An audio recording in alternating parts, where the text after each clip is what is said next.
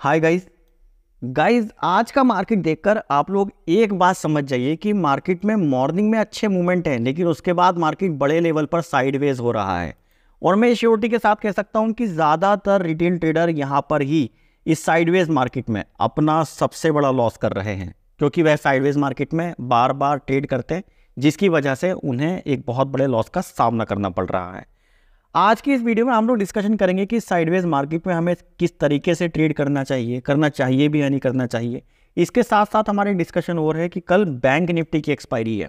तो हमें bank Nifty में कौन से लेवल्स पर आकर बाइंग और सेलिंग देखनी चाहिए और कौन से लेवल्स हमारे लिए परफेक्ट लेवल बन सकते हैं। तो सबसे पहले यह जान लेते हैं कि आज मार्केट ने किस तरीके से रिएक्ट किया। आज मार्केट में एक ट्रैप था। पहले ये लोग कॉल साइड की तरफ़ बड़े कैंडल्स के साथ मार्केट को लेकर गए। और फिर उससे भी बड़े कैंडल्स के साथ इन्होंने मार्केट को नीचे गिरा दिया। क्या हम ये बाइंग और सेलिंग लेवल्स को पकड़ सकते थे? बिल्कुल पकड़ सकते थे भैया। अगर आपने लेवल्स का रेस्पेक्ट किया होगा तो आप ज़रूर इन लेवल्स को पकड़ सकते थे। आपको याद होगा, कल के वीडियो में भी मैंने आपको ना एक चीज़ क्लियर की थी कि मार्केट में ना एक लेवल्स था हमारा, यहाँ पर 724 का। अगर आप 724 का लेवल मार करके बैठ जाते और इसके नीचे मार्केट में सेल के लिए आ जाते तो आपको ये बड़ा मूवमेंट मिल जाता। तो आप मार्केट से एक अच्छा प्रॉफिट जनरेट कर गए होते। बस आपको ज़रूरत है इन लेवल्स पर आकर मार्केट में अपने ट्रेड को एग्जीक्यूट करने की। आपको खाली नहीं बैठना है। बहुत सारे लोग क्या करते हैं कि उनको पता होता है कि मार्केट यहाँ से नीचे गिरेगा, लेकिन अपनी ट्रेड को एग्जीक्यूट नहीं करते हैं। और यही उनकी सबसे बड़ी गलती होती है। ठीक है? और वह क्या करते हैं? मार्केट में क्या रिटेल ट्रेडर की गलती होती है। जैसे ये एक सपोर्ट है और यह हमारा एक रजिस्टेंस है। तो वह ना तो यहाँ पर यहाँ सपोर्ट पर खरीदारी नहीं करेंगे। वह यहाँ पर सेंटर में आकर खरीदारी करेंगे, जिसकी वजह से उन्हें बहुत बड़े लेवल पर लॉस होता है।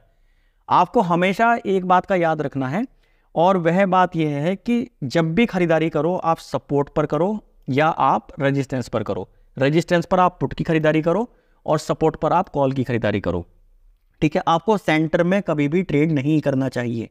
ये बात आप लोग आज से ही गांठ बाँध लो। अगर आपको इस मार्केट से एक अच्छा प्रॉफिट चाहिए तो। ठीक है? अब बात करते हैं कि कल के दिन हम बैंक निफ्टी में किस तरीके से ट्रेड कर सकते हैं। देखिए, कल के लेवल्स निकालने से पहले आपको एक चीज़ जो मैं आपके दिमाग में डालना चाहता हूँ, आज ना एक न्यूज़ आने वाली है। यूएस का डेटा आने वाला है, ठीक है? उस डेटा के बेस पर मार्केट में कल एक बड़ा मूवमेंट हो सकता है। अगर डेटा अच्छा आया तो मार्केट में तुम्हें अपसाइड के मूवमेंट ज़्यादा देखने के लिए मिल जाएँगे। और अगर डेटा गलत आया, ठीक है? तो मार्केट वापस से काफ़ी बड़े लेवल पर सेल हो जाएगा।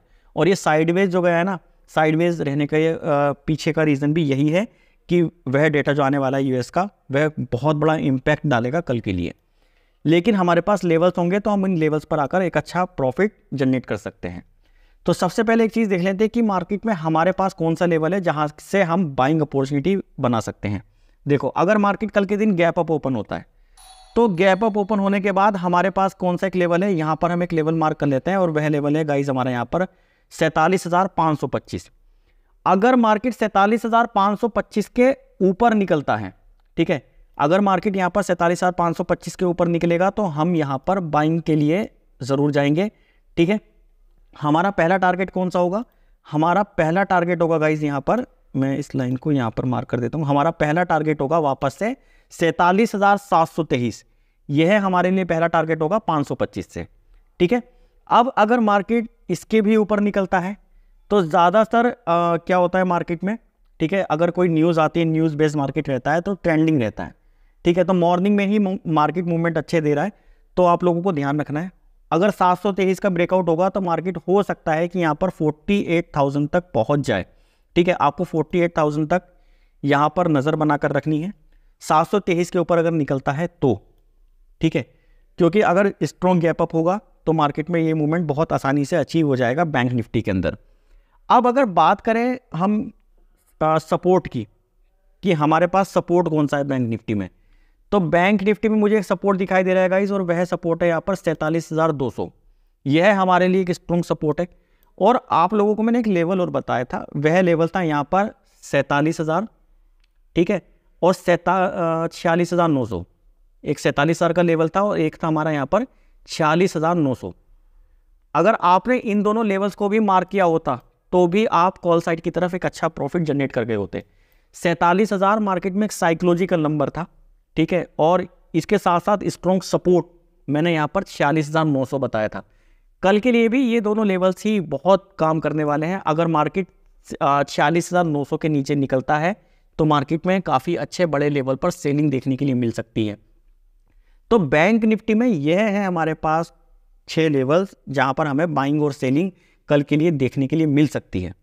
आई होप आप इन लेवल्स को ज़रूर मार्क करेंगे और इन्हीं लेवल्स के बेस पर आप कल के दिन अपनी बाइंग और सेलिंग अपॉर्चुनिटी को देख सकते हैं। अब बात करें निफ्टी के बारे में।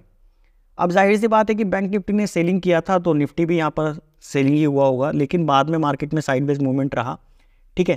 तो हमारे पास निफ्टी में कौन से अच्छे लेवल्स हैं?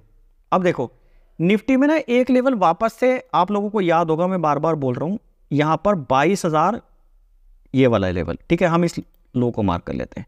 बाईस हज़ार दो सौ पच्चीस, यह एक स्ट्रॉन्ग लेवल है। आपने इस लेवल को ज़रूर ध्यान में रखना है कल के लिए भी, अगर मार्केट इस लेवल के पास आता है। तो ज़ाहिर सी बात है कि मार्केट में एक बाइंग ऑप्शंस की अपॉर्चुनिटी बन सकती है, और ये काफ़ी टाइम से मार्केट में एक स्ट्रॉन्ग लेवल बनकर बैठा है। इसके नीचे मार्केट निकलता है तो सेलिंग के लिए जा सकते हैं, इसके ऊपर निकलता है तो मार्केट में बाइंग ऑप्शन के लिए जा सकते हैं। आपने इस चीज़ का ध्यान रखना है। इसके बाद मार्केट में एक लेवल हो जाता है गाइज़ और वह आता है यहाँ पर हमारा बाईस के आसपास का। आपने इस लेवल को भी कल के लिए मार्क करना है। अगर मार्केट इसके ऊपर निकलता है तो मार्केट में बड़े ऑप्शंस बाइंग साइड के लिए बन सकते हैं, क्योंकि मार्केट ने जो क्लोजिंग दी है, वह दी है बाईस के आसपास की ठीक है? इसके बाद आपने एक लेवल और मार्क कर लीजिए और वह लेवल है हमारा बाईस हज़ार तीन सौ। ठीक है? आप भी जानते हैं कि हर 50 पॉइंट के आसपास ना निफ्टी यहाँ पर रिएक्ट करता है। अब हमें सेलिंग कहाँ से देखने के लिए मिल सकती है? देखो, सेलिंग जो हमें देखने के लिए मिल सकती है निफ्टी के अंदर, वह मिल सकती है हमें बाईस एक लेवल हमारा ये हो गया और एक लेवल हमारा आप लोग जानते हैं, वह है हमारा बाईस हज़ार पाँच सौ चौबीस। ठीक है? अभी डेटा आने के बाद पता चलेगा कि मार्केट कल के दिन कितना स्ट्रांग रहने वाला है। ठीक है स्ट्रॉन्ग रहेगा या वीक रहेगा, अब जब डेटा आ जाएगा ना, तभी हम ये लोग ये चीज़ क्लियर कर सकते हैं। बाकी हमारे पास यही कुछ लेवल्स है जिसके बेस पर हम कल के दिन मार्केट में बाइंग और सेलिंग अपॉर्चुनिटी देख सक, देख सकते हैं। ठीक है आई होप आपको निफ्टी और बैंक निफ्टी के लेवल्स पता चल गए होंगे और आपने मार्क भी कर लिए होंगे। अगर आपको वीडियो पसंद आया हो तो एक बार मुझे कमेंट करके ज़रूर बताइएगा। मिलते हैं नेक्स्ट वीडियो में। Thank you